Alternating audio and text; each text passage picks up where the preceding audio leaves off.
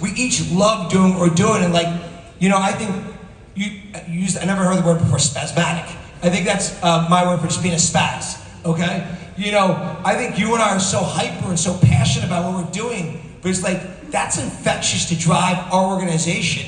And I do agree, there's no job that's too big or too small for me. So as we set this up, I mean, we came up with the idea 14 months ago. In the last month, I'm sitting there talking to you about your schedule. I'm talking to Brady about his schedule, calling you and say, hey, can you do me a favor? Come do this because, like, I want to make sure it's as good as it can be. Uh, and I keep asking everyone, don't tell me what you liked about this. Tell me what you didn't like so we can be that much better next year. So I said the other thing is just having an unrelenting desire to keep getting better and then push that through the whole company because we ain't ever done and we ain't ever rested. And, you know, I hate big companies because they become complacent. And what I want to be is the most entrepreneurial, great brand. I want to become, I want Fanatics to become the most beloved. Like, if I'd say in 10 years from now, I look out and say, what do I want my kids to think? It's their dad built the most beloved sports brand, one of the most beloved brands in the world. And we haven't even got started yet for that. That's why we're so just like laser focused on it. And, and, and I know. Give it up. Great answer. And um, I, you can tell, if you guys couldn't tell, these two are real friends. This isn't like just put two guys up here and I ask them questions and they don't really know each other. They spend a lot of time together. They're really friends, away from all the cameras and glitz and glamour. And I'm just curious, respected to your business and respected to your music, have you ever unexpectedly influenced each other in your field? Oh, fuck yeah. Um, every minute of every day, I feel like. Please do share. I gotta hear this one. Well, shit. I, I mean, Rube was like, "Yo, man, um, I'm doing this Fanatics Con." I'm like, "Okay." Um, he's like, "Have you seen Comic Con before?" I'm like, "Yeah." I'm like, "Have you seen Comic Con before?" He's like, "Yeah." I'm like, "All right, you see, this shit's crazy."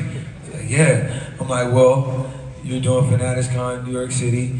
You can't go half-assed." This nigga Ruben hung the phone up. So, shit. He called me back. He's like, do I ever do anything motherfucking half-ass? Are you fucking crazy? Nah, nah, nah. You sick? Uh, are you sick? Are you crazy? What the fuck? I got this. I'm okay, all right.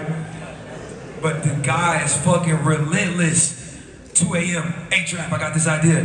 Like, what you think? No, no, no. Man, I think it's kind of crazy. Like, okay, boom. The next day, nah, I, I, fuck that. I'm not doing that. No, I'm thinking about this. And then when you show up here you see like this shit looks crazy. You got fucking UFC fucking shit here. You got the fucking WWE walkout. You got Topps cards. You got track KD here. You got this beautiful stage. Everything looks actually like nice and shit. And so, um, and a team, uh, you know, how everything is moving, consistency um, you know, everything is just cohesive. And I, you know, I learn, I, you know, I take that to everything I do. Whether, you know, when I'm moving with my team, I tell them like, yo, you got to just watch how this is done. Like, watch how the production is done. Um, for any festival for we do, any concert we do, um, you know, I'm doing um, Complex Con. Like, we're taking over Complex Con. So I told Rube, I'm like, oh, you think this shit is gonna be better than a Cactus Jack Complex Con? So it's like, I'm now gonna challenge myself to like at least live up to half of what this can be. Yeah. You know what I'm saying?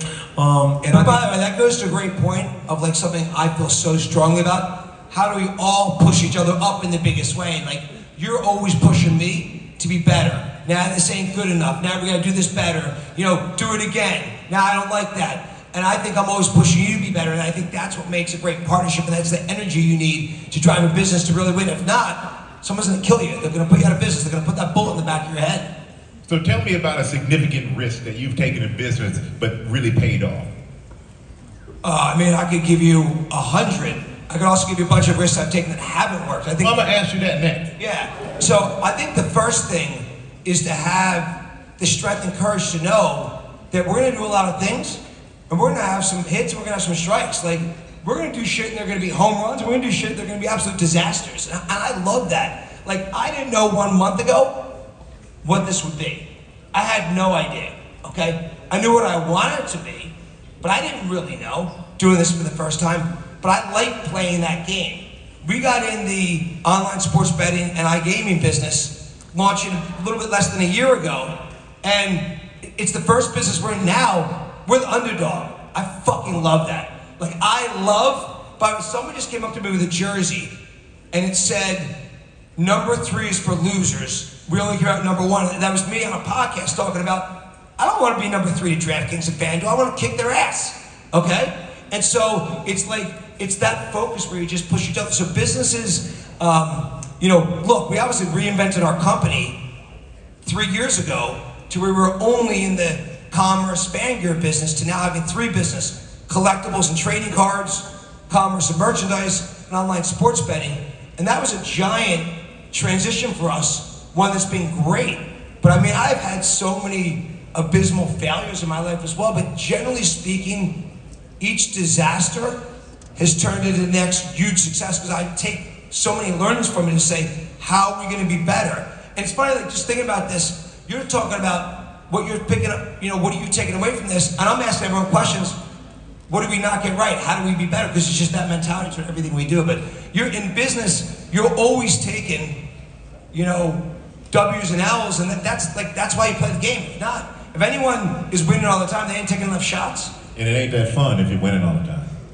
Well, I wouldn't mind winning all the time, but it's not possible. Yeah. I mean, if he has Tom Brady, he wants to win every game for sure. Yeah. And Um, um, we kicked his ass. But, Don't, don't talk about my boy Try. You can't talk about a boy like that. But Yeah, boy, Traps and I are from Houston, man. We boys. H-Town up in here. And, you know, and I love Tom. Tom's my guy, man. I'm business partners with Tom. I love him, but I needed that Super Bowl more than he needed the other seven he won. But by the way, I'm going to jump in and tell a completely unrelated story. But I was looking at my daughter who decided to leave us. But I remember before I knew Tom well that um, we went to the Jets playing the Patriots in New York, and he led this amazing comeback from losing the game. And then I knew him, but not well. But we were each going to, to the airport, and so I was in the back of the car with my daughter, who's now 18. And Tom gets in the front of the car with Kraft, um, and he literally starts screaming, "Fuck! Fuck! Fuck! Fuck! Fuck!" He's going on a tirade.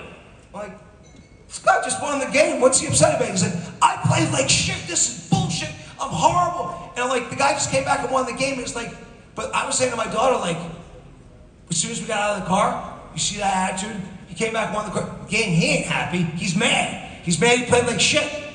Yeah, that's Tom. That's that hustle. It's a lesson for all of us. That's why I told you the story. That's why. That's why. That's why he's as successful as he. But he's still as is. pissed off at you. By seven Super Bowls, he's, If- ang- he, if- he's angry But all I gotta the say, Giants. if he too. cursed like that after beating the Jets, I wonder what he said after losing to the Giants in the Super Bowl. On a, in a He perfect thought about trying. He, he thought about trying to off you. Oh, I know. He's trying to get New you. York! Yeah! And, and Travis, but you, you're a risk taker too, man. What is, what are the biggest, a big risk that you took that, that paid off for you? Um, I I opened up on a lot of tours. I, I wouldn't consider it a risk, but it took me forever to do my own shows. Um, I opened up for a lot of people, um, and like Ruben said earlier, it was never about the money for me. Um, Word. Um, no matter like you know whatever the songs were, whatever hits I had at the time, um, I always took maybe like the lesser dollar to be able to get in front of more people, um, to maybe later have my own shows be, you know, as great. Um, I felt like if I could just be in front of as many people as I can, um, if they can see the show, hopefully they'll like it and come back again. Um, so I took a lot of risks just not doing a lot of my own stuff early in my own career.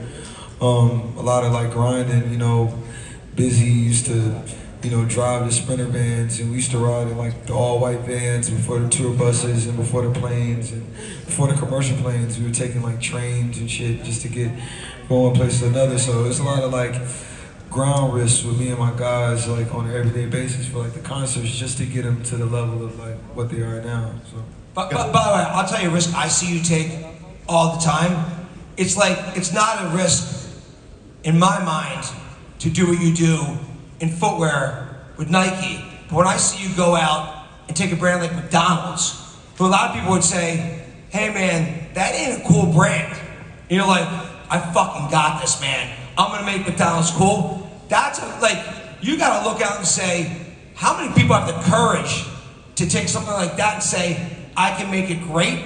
That, you know, 99% of people, I gotta you something, there are a line of artists that McDonald's would pay a lot of money to, would have been terrified to do. You had 100% confidence. So I think that's what I learned about him in that first meeting in his house four or five years ago when I saw his laser focus on every different brand he's put in the collaborations and how he does it. That I think those are some of the, like music, it's just what you do. You're so good at it, but to do it in business and different brands where you take brand risk on, I mean, that's spectacular. And, you know, you're always winning these things, which is crazy. There's not enough, there's not a people, business people don't get this about him. You guys all know it. There's not another person that can literally have, that like has so much success in each different, I mean, how many different collabs have you done? And you're like, you know, if you could, if I could win the way you do in what you do in consumer products, I, I might get bored I'd be winning so much. But the, but the thing is, I think for both of you have shown in building your business and your career that it, it, not that you don't have fear. I think we all have fear. In, in I, I, don't, I don't have fear. Just saying. Okay, I really don't have fear. Let's line up, get in the stands, and play a little football. Okay, we all got right. little. All all got All little- right. All right. I, I, Why, why, why All right. lady like yes, All yes, do it. I'm not scared of her either. Maybe sometimes, but, But- uh, but- but- I don't have fear business is what I mean. But what I'm saying is, a lot of people get scared and they won't do it. They, it makes them, it keeps them from going forward. Both of you have proven, just do it, try it. You don't know unless you try, and that's what holds most people back. Yeah. That that fear. Yeah, I, I came up around um, a lot of amazing um, artists and talented people, and I used to always think like, man, if I was them, I would do this. Like I would go, I would do this. And I see a lot of talented artists that might not even put out music because they just, I don't even say it's a fear. It's just I don't know what it is.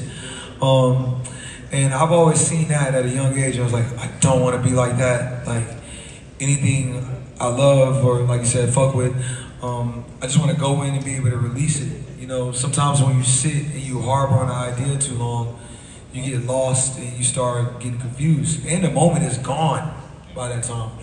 Um, sometimes the moment is now, and if your vision is that far ahead, you can see what this moment is going to be in 10 years. So, you know, acting on it now is sometimes like best with good thought. I'm not saying like every rush idea should be thrown out, but anything with good thought that should, you know, come out in a moment, I think, you know, you should just act on it. Um, and I've seen, you know, people before me or even still after me that just like, you know, harbor or like take too long because I don't know, maybe it's fear, maybe it's unsure, whatever, but they have it. You know, it's just they just don't do it. But but but uh, it, it, it's, Drop double O cactus. Tell Carter to drop. Alrighty then. But you gotta feel good. I mean, they're not holding up shoes. I wish I'd have brought mine. I could have got them signed, man. You know, I, but I'm here for both of you um, in the business world with customers and, and also with your fans in the music business. What do you do? How do how do you build a relationship with them to have this long-term loyalty? To have these fans that will be there for you with, with the music, with the merchandise, and fans of, of Fanatics and fans of your business who will always show up at Fanatics Fest and things like that. How do you build these relationships for long-term loyalty? Yeah, look, I think for a company that has the aspirations and dreams that we have, um, the most important thing is to always listen to your fans. Like you got to listen to them um, because without you guys in here, we got no business, zero business. Okay, without you guys in here, he's got nothing. So to me, it's the fans that drive everything, and then you got to be authentic. I mean, if that's the one thing I've learned, you've got to be authentic to what you're doing. But we are like one of my worst habits that I love. If that makes sense. I can't stop myself from looking at what people are saying online. Then I just figure out are they right or are they wrong? Yeah, because You I, look online and comment. like not I look I almost I wake up what's going on I go to bed what's going on it doesn't mean I always agree okay there are times I'm like that's the dumbest shit I've ever heard there's a lot of times I'm like they're right and we got to listen better and it's driven our strategy so yeah I think listening to your customers is everything since I've been today I've had two um, like 30 40 minute meetings with groups of customers ask them what we can do better I'm asking people like crazy at Fanatics Fest what we can do better. So you got to listen to your customers. If you don't do that, you got shit. You're constantly studying your, your customer. Always. And, and Travis, what about you? How do, how do you stay engaged with your with your fan base for a, a long-term loyalty? Um, let me see.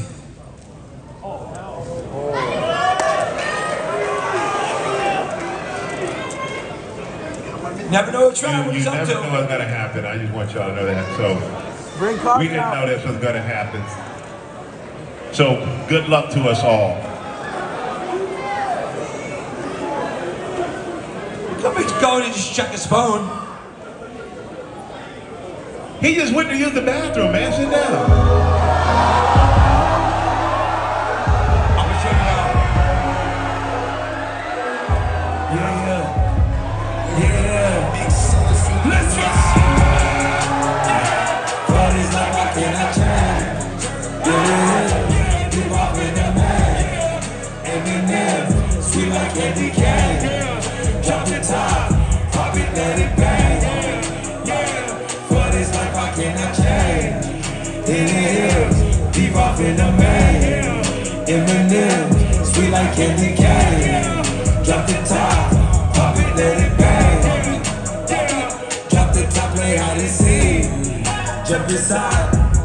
To the lid. Take a sip, feel just how I breathe. On freeway, but no ain't nothing free. Been laws, been lanes. Been busting bills, but still ain't nothing changed. You in the mob, soon as you rock the chain. She caught the waves,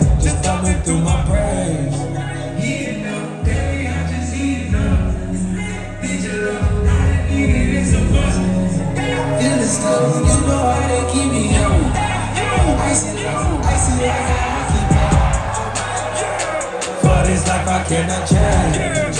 In the hills, deep off in the man.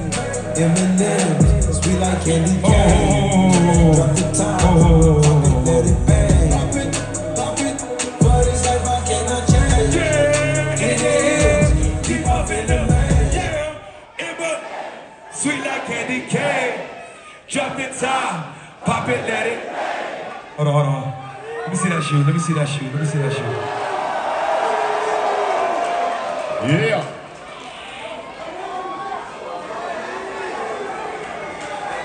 Hey, while you standing up, give it up for Scott!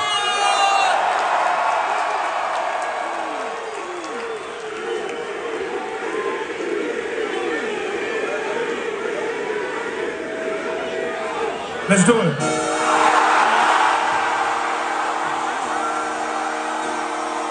Hey, yo, turn the music up a little bit. Just bit. Just come outside for the night. Take your time. Get your time. Shut it. Shut it. Shut it. Get it.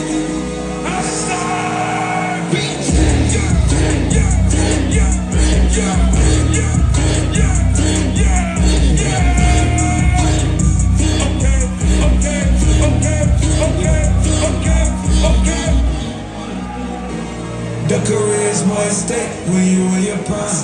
Fuck that paper, baby, my face on the dotted line. I've been flying out of town for some peace of mind. It's like always, they just want a peace of mind. I've been focused on the future, never on the now. But I'm sipping that kombucha, either pink or brown. I'm the one that introduced you to E right now.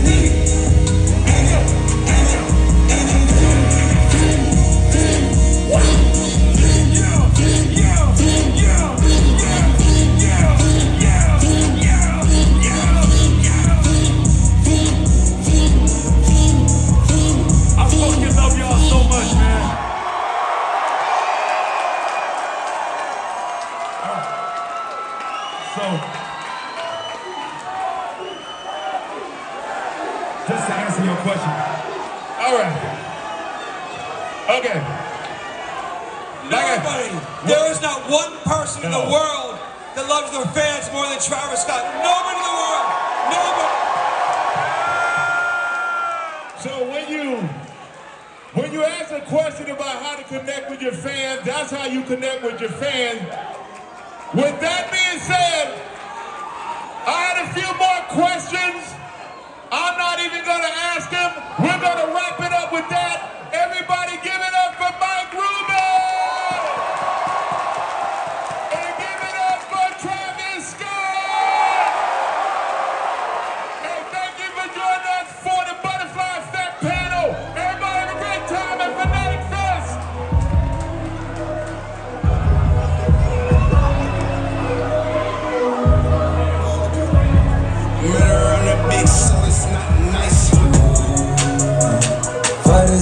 life I change.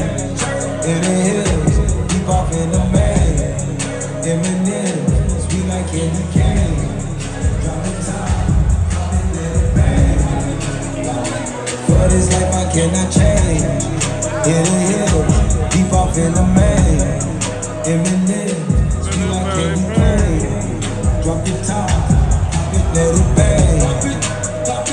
Drop the top, play hide and seek. Jump in